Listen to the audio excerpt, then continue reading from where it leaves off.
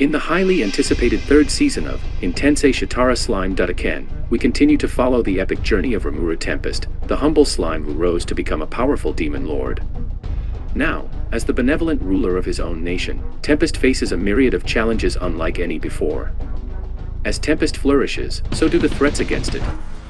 Powerful enemies, both old and new, seek to test Rimuru's resolve and topple his growing nation. With his unique abilities to absorb and mimic powers, Rimuru must use every trick in the book to protect his people and preserve the peace he has worked so hard to achieve. But Rimuru is not alone in this fight. Alongside his trusted companions and newfound allies, Rimuru forms alliances and forges bonds that will be crucial in the battles ahead. From powerful demons to cunning humans, Rimuru's growing coalition stands as a testament to his leadership and diplomacy. As the stakes continue to rise, Rimuru's journey becomes a test of strength, strategy, and sacrifice. Will his wit, wisdom, and the loyalty of his friends be enough to overcome the looming threats? Can Rimuru's dream of a world where monsters and humans coexist peacefully withstand the challenges that lie ahead?